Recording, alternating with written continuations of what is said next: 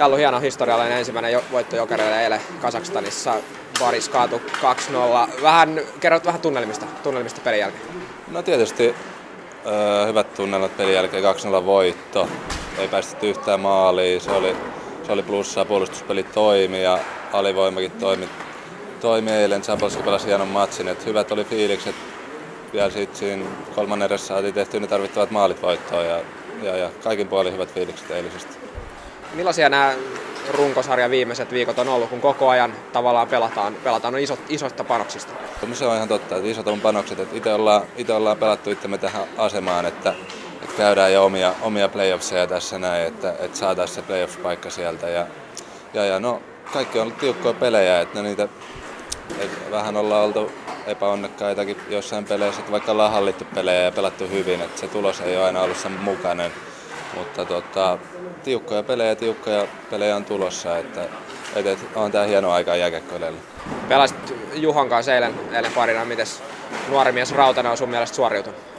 No tosi hyvin, että kyllä Juho on hyvä, hyvin liikkuva pakki ja luotettava, että kyllähän niin kuin on auttaa mua puhu, puhumalla ja mä yritän auttaa Juhoa parhaani mukaan. Että kyllä se, niin kuin se tuntuu, että meillä se yhteispeli toimii todella hyvin.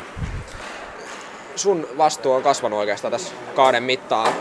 Miten sä itse sanot omasta, omasta tavallaan siitä kaaresta, millaista, se on, millaista tekemistä se on vaatinut, että, että KHL-kiekkoon on tottunut?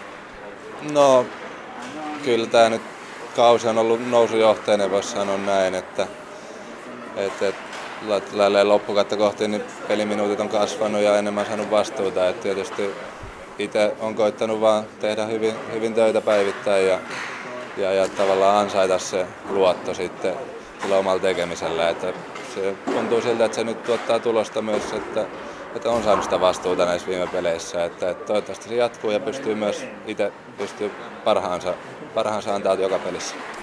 Huomenna pelataan Hantimansiskissa Jukuraa vastaan. Muistetaan maalijuhlat viime lauantailta. Minkälaista peliä sä povaat huomisella?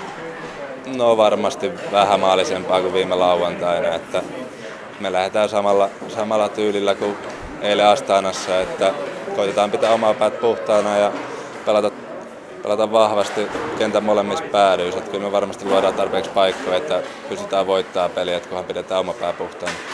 Kiitos. Kiitos.